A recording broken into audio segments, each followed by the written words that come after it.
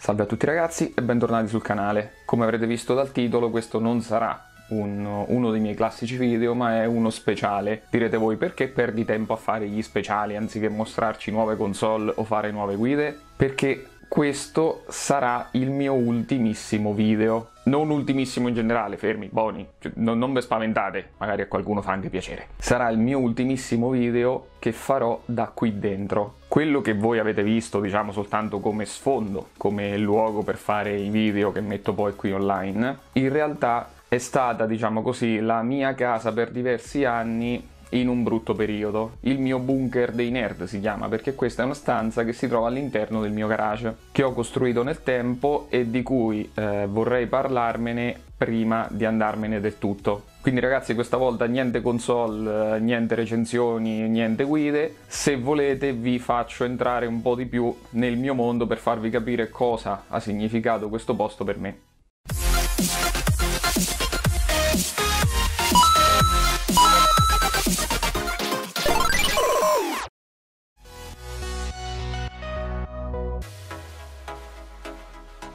Cos'è un bunker dei nerd? Perché il bunker? In qualunque film dove c'è un nerd che si rispetti, eh, troverete sempre una stanza dove tiene milioni di computer, anche degli anni passati, con miliardi di codici che vanno a scorrimento che non si sa che fanno. Diciamo praticamente il suo laboratorio dove nerda forte. E come loro anche io il mio. Ma come è nato questo? Come avrete capito dalla cadenza, e ve l'ho detto anche diverse volte in passato, io sono marchigiano e nel 2016 ci fu una forte scossa di terremoto nelle nostre zone. Non quella di accumuli a matrice, che l'abbiamo sentita comunque, ma ce ne fu eh, una qualche mese dopo, più precisamente a Castel Sant'Angelo sul Nera. Se non ne avete sentito parlare di questo terremoto è perché non ha fatto troppo scalpore, perché eh, non ha fatto morti, ma c'è un motivo se non ha fatto morti, perché il 26 ottobre alle 7.10 ci fu la prima scossa di 5.4 mi sembra, quindi una signora scossa per le nostre parti, che già ci aveva messo in allarme, quindi eravamo già usciti tutti di casa, perché poi alle 9 di sera, neanche un'ora e mezza dopo,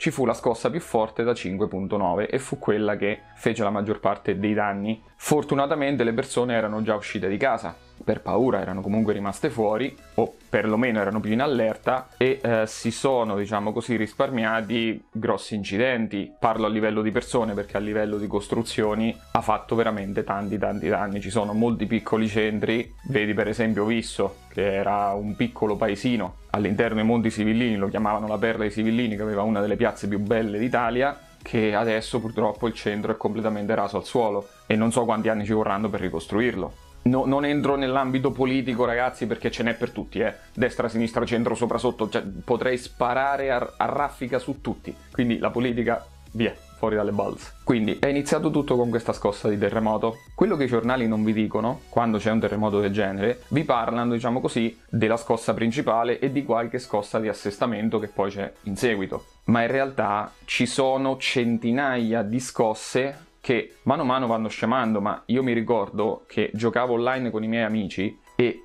gli dicevo ragazzi scossa, ragazzi scossa, ragazzi scossa, perché praticamente le prime settimane se ne susseguono tantissime durante il giorno e il brutto del terremoto è che tu quando inizia una scossa non sai se sarà di assestamento oppure andrà a crescere. E tutto questo, tutta questa premessa porta a noi. Io stavo cercando casa in affitto, ottimo periodo per cercarla, però stavo ancora con i miei genitori e noi abitiamo al terzo quarto piano. Al terzo quarto piano, palazzo antisismico e quello che volete, il problema è che si balla veramente tanto, soprattutto se è l'ultimo piano del palazzo. Mia madre ha terrore dei terremoti, allora sono andati con mio padre a casa di mia zia che aveva una casa singola su un piano, quindi stavano tranquillissimi. Mia sorella è andata a vivere dal ragazzo più o meno stessa situazione, ero rimasto io che dovevo tenere questi tre mammocci e lasciarli da soli a casa con queste scosse così sempre un po' impaurito mi, non mi faceva sentire proprio sicuro. Allora ho detto ok, a casa ci rimango io. Quindi cosa ho fatto? Io ho il garage direttamente collegato con i piani di sopra tramite le scale dedicate. Ho preso un vecchio letto che tenevamo in cantina, l'ho rimesso in piedi e l'ho messo giù in garage. Ho detto ok, magari vivo su casa, però la notte dormo laggiù perché se ci stanno queste scosse almeno sono pronto a uscire, comunque sia non devo farmi quattro piani. Poi, visto il continuare di queste scosse, allora ho deciso di portarci anche lo stretto indispensabile di sotto, ovvero un televisore e la Play 4 ai tempi. e cominciai piano piano a vivere qua sotto. Solo che, ok che a ottobre ancora si stava abbastanza bene a livello di temperatura, però con l'arrivo dell'autunno iniziava a fare freddo, quindi iniziava ad essere necessaria qualche piccola modifica nel garage per potermi ospitare, visto che la situazione non è che andasse proprio a migliorare in maniera così veloce.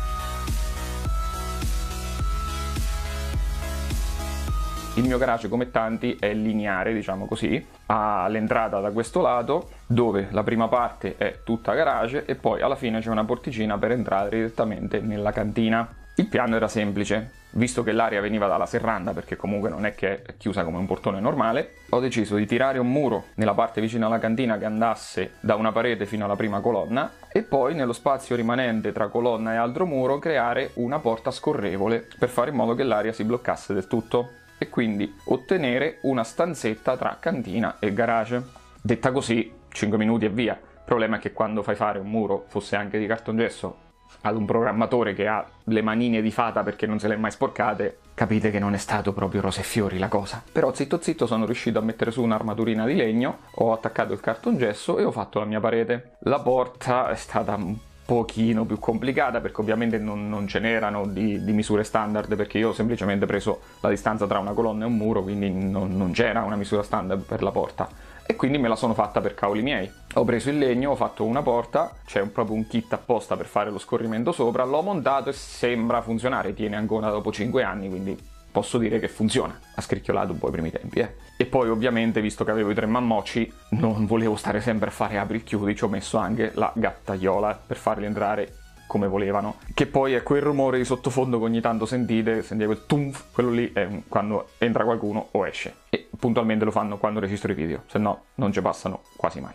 Una volta fatto muro e porta, finalmente avevo la mia stanzetta chiusa, diciamo così, e da quel momento in poi qualunque altra operazione doveva essere approvata dai miei gatti, praticamente. La prima cosa ho voluto rivestire il pavimento perché avevo delle mattonelle classiche da garage, allora ci ho messo il classico laminato che prendi all'Ikea e ci posi sopra. E ovviamente, dieci minuti dopo, è arrivata Ariel e fatto il pavimento, abbiamo, ho anche verniciato perché comunque sia le pareti erano bianche e tutte zozze, quindi ho messo un colore un pochino più scuro. Poi ho preso e ho portato il letto all'interno del bunker e anche lì ho iniziato anche a prendere l'arredamento Ikea. Ho preso un mobile TV, ho preso una mini libreria, ho preso la scrivania, le varie mensole che vedete qui alle mie spalle, ho preso il tavolino, ho preso la sedia, anche lì Ariel appena l'ha vista convinto di aver finito già tutto, non ho fatto i conti con il freddo che stava arrivando, che era peggio di quello che pensassi. Perché il problema di questo bunker è che di sopra non c'è appartamento, c'è l'entrata di casa mia, quindi io sopra ho il pavimento e sopra ancora nulla, ho semplicemente un androne del condominio. E quindi ho detto ok, visto che queste mattonelle fanno passare tutto, rivestiamo un pochino anche il tetto, quindi ho preso il polistirolo, ho fatto l'armatura di legno e ho messo un minimo di strato isolante. Oltre alla dispersione del calore però dovevo anche capire come scaldarlo. Non c'era possibilità di portarci i termosifoni, siamo a 4 piani di distanza. Quindi, prima soluzione, stufa a kerosene. All'Ariel piaceva. Il problema di quelle stufe è che eh, fanno un caldo della miseria, per carità. Il problema è che per accendersi ogni volta tu le devi mettere fuori perché le esalazioni che fanno all'inizio e l'odore sono molto fastidiose, se non che penso facciano proprio male. E non ci puoi assolutamente dormire perché consumano aria. Ci sono andato avanti qualche mese e poi alla fine ho deciso ok, questa è un po' troppo complicata, prendiamo la classica stufa elettrica da muro. Ariel anche qui gradiva. Il problema di questa è che eh, finché ci sono stato da solo io sotto terremoto eh, ha funzionato benissimo. Quando hanno iniziato a tornare i miei a casa, e io ovviamente ancora stavo qui perché mi stava piacendo come stanzetta, appena loro attaccavano un fono, il forno non vi dico, qualche luce in più, se io tenevo questa saltava la corrente. E quindi questa soluzione pure non era ottimale. Alla fine ho preso un caminetto a bioetanolo piccolo piccolo. Fa molto meno di una stufa a kerosene, ma c'era una tattica, ovvero accendo per 10 minuti la stufa, lo dico di sopra, non accendere niente, faccio scaldare, spengo la stufa, accendo il caminetto che mi mantiene la temperatura.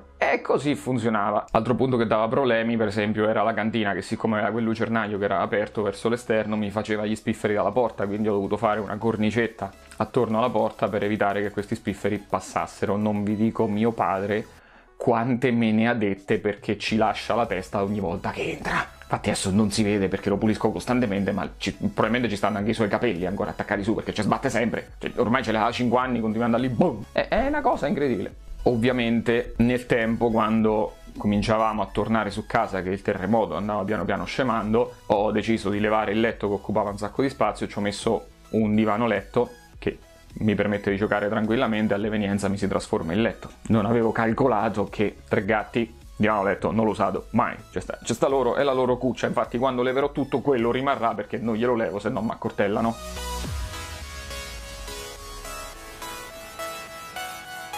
Passiamo alla ciccia. Arredato tutto, fatta tutta la stanzetta, cosa sono andato a mettere all'interno del bunker? La prima cosa in assoluto, ho dovuto portarci la rete. Come hai fatto a portarci la rete a quattro piani di distanza? La prima versione era un cavo che partiva dal router e veniva fin qua giù, ma ne servivano, non lo so, 30 metri, quindi ah, bocciata subito. Seconda versione ho messo un ripetitore wireless a metà scale e un altro qui in modo che avesse il doppio segnale, ma continuava a non piacermi. Allora ho usato una soluzione che consiglio anche a voi, che è una power line, ovvero si prendono questi due dispositivi, uno si attacca con la rete direttamente al router in ingresso e poi lo attaccate alla corrente. L'altro non dovete fare altro che attaccarlo ad un'altra presa della corrente di casa. Una volta collegati alle prese, loro si rintracciano all'interno della rete di casa e fanno passare la rete dati tramite la rete della corrente. E è comodissima, non dovete cablare nulla e la velocità è mantenuta, è quasi una via cavo normale. Quindi cosa ho fatto? Ho messo il mio primo dispositivo attaccato al router e ho messo il secondo qua giù in garage. Si sono trovati, ho fatto uscire il cavo sul ripetitore wireless, quindi io qua giù adesso ho sia la via cavo che la wireless per il cellulare. Risolto il problema di rete, secondo problema è ci metto un televisore. Sono partito dal mio classico 32 pollici che avevo in camera, poi piano piano nel tempo ho comprato un bel 55 pollici perché ho sfruttato il Black Friday e mi mancava il cavo dell'antenna. Lì non c'era modo di farlo passare tra la presa della corrente se non prendere il filo e portarlo giù. Visto che i miei non erano molto d'accordo con questa cosa, ho eh, diciamo trovato una soluzione un po' alternativa, cioè ho messo il televisore, ho preso il cavo, l'ho fatto passare per tutta la lunghezza del garage, poi appena uscito fuori io ho fatto fare quattro piani all'esterno e ho attaccato l'antenna sul terrazzo dei miei genitori. Questo ovviamente l'ho fatto mentre erano fuori l'ho stretto talmente tanto che ormai penso che viene giù col terrazzo quell'antenna, non, non la leva più nessuno. Quindi, anche il problema TV risolto. Oltre a questo, sulla scrivania alle mie spalle, adesso la vedete vuota, ma in realtà ci stanno sempre i computer, ci faccio le prove, ci monto i Raspberry, eccetera. Poi ci ho messo ovviamente il mio cavinato, poi vi racconto cos'è stato il cavinato, per adesso sappiate solo che c'è il cavinato e ci ho messo praticamente tutte le mie console, sono partito con la PlayStation 4, poi ci ho portato giù l'Xbox 360, c'è l'attacco per la Nintendo Switch, poi qui ci provo comunque sia anche tutte le console che recensisco, cioè nel tempo con tutte queste caratteristiche è diventato proprio il mio bunker dei nerd.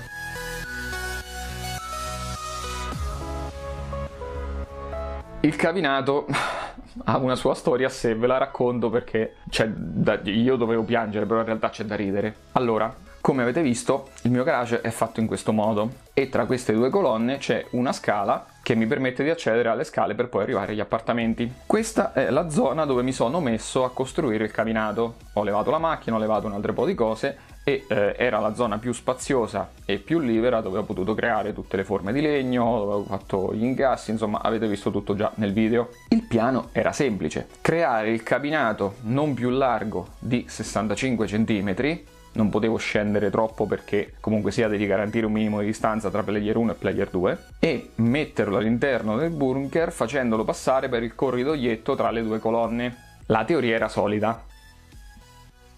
No, quelli che sto per farvi vedere sono dei video inediti che non ho mai pubblicato di quando stavo costruendo il cabinato, quindi sappiate, parlavo molto più in dialetto di ora, passatemelo, però è quello che effettivamente è successo. Allora, principalmente, come vedete, questa è l'altra parte del mio garage. Là dentro ci ho fatto una stanzetta sotto il terremoto, poi ve lo spiego. Comunque sia, è la stanzetta dove andrà il cabinato. E io avevo preso le misure di larghezza esattamente perché lui passasse tra questa colonna e questo muro e fin qui tutto ok. Quello che non avevo calcolato sono queste che uno dice ci avrà la stessa dimensione della colonna perché se vedete ci si passa, no, perché guardate bene, queste maledette hanno una sporgenza. Quindi facendo tutti i calcoli dovuti il cabinato non ci passa. Direte voi che tocca fare? Niente, c'è soltanto da smontare le scale per far sì che le sposto un po' e faccio passare il cabinato dentro.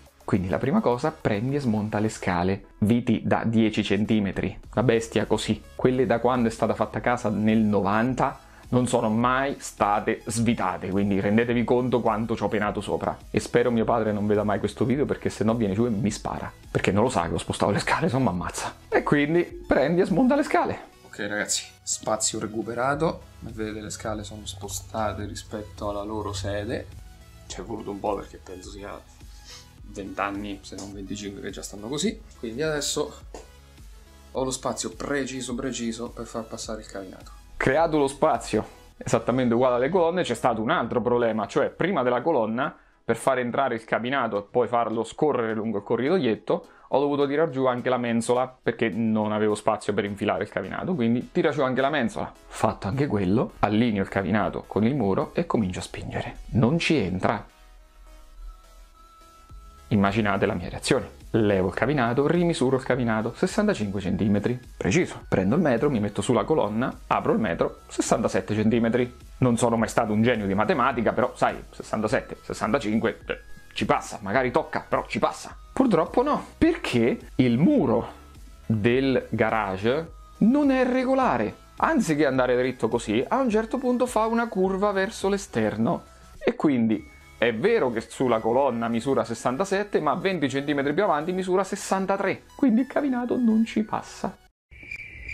Immaginate me dopo un mese di lavoro che non riuscivo a mettere il cabinato all'interno del bunker. E avevo anche smontato le scale. Per, per... Vabbè. Allora cosa fare? Vado dai miei genitori e dico se cortesemente me lo fanno mettere in camera perché nel bunker non mi c'entra. Se gli chiedevo 20.000 euro per comprarmi una macchina a cucì sull'unghia, mi urlavano contro di meno.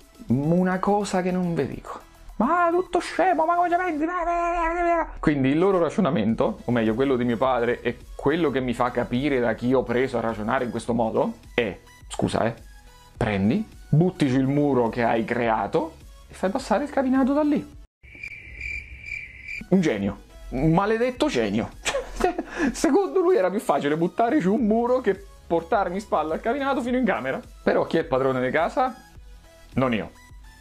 Infatti, se voi l'avete notato, prima il muro era pieno, c'era una finestrella piccolina per far entrare un po' di luce e basta.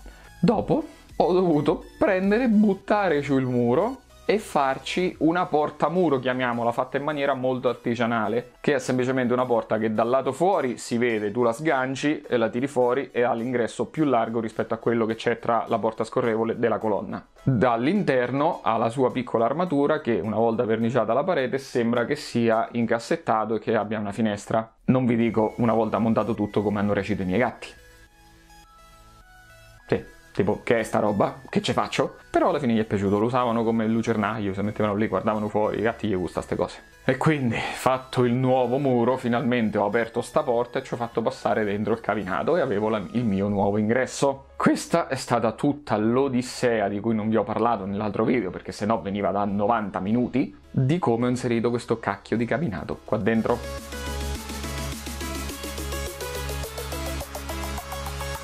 Sentite? Gattaiola. Non lo fanno mai quando non registro, ci stanno solo quando ci sto io qua dentro. Bene ragazzi, vi ho detto come è nato, come l'ho costruito e cosa c'è dentro, perché ci sono così affezionato. Perché piano piano è diventata una mia seconda camera, e la camera di un maschio sapete che più o meno è la casa di un maschio, diciamo così, soprattutto di un nerd, perché ci ho giocato online con gli amici, qua sotto dove potevo urlare quando volevo, tanto non mi sentiva nessuno, ci ho visto, ci ho fatto le maratone con le serie tv, ci ho sviluppato, ci ho programmato, ci ho provato moltissime console, ho fatto molti esperimenti, ci ho portato qualche ragazza, ci ho dormito sotto terremoto, dormito è un eufemismo perché in realtà era un letto singolo con tre gatti, quindi tu entravi così, tipo formazione da robottone, ti fermavi e dovevi stare così fino alle 7 di mattina perché c'era un gatto qua, un gatto qua, un gatto in mezzo alle gambe. Fisso. Ormai avevo imparato a dormire in quel modo. Avevo anche imparato a girarmi a pancia in sotto senza spostarli, quindi rendetevi conto.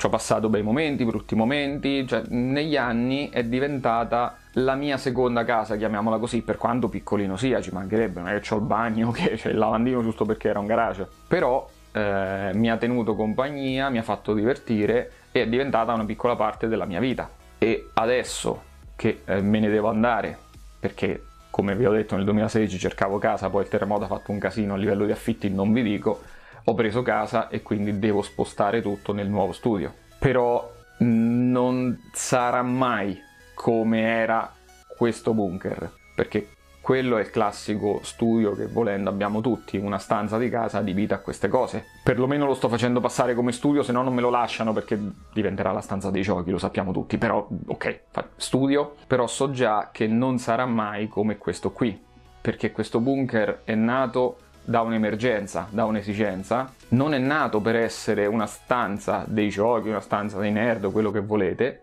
e tutta una serie di coincidenze, di casualità, diciamo, l'hanno fatto diventare quello che è. È diventato anche il nostro luogo di ritrovo, voi lo vedete semplicemente come uno sfondo, ma vi ho raccontato cosa c'è tutto attorno. Spero anche di aver fatto entrare voi un po' di più in casa mia per farvi capire, oltre a quello che faccio, cosa c'è attorno al mio mondo. E adesso che lo devo smontare per portarlo da un'altra parte, sì, dici ti porti dietro i mobili, ti porti dietro le console e tutto, ma lascio questo posto e a me questa cosa pesa ragazzi è veramente dura, guardate, non è che lo sto facendo per fare scena nel video, vi sto proprio trasmettendo i sentimenti in tempo reale. Ho già minacciato mio padre, gli ho detto io te lo svuoto, ci metti quello che vuoi tranne il divano letto che rimane ai gatti, ma non provare a smontarlo perché io vuoi o non vuoi un giorno tornerò. Io quel giorno tornerò.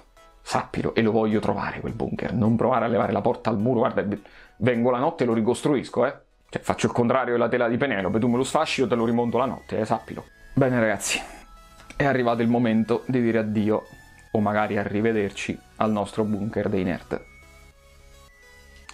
Neanche Tony Stark penava così tanto prima di questo schiocco di dita. 3, 2, 1...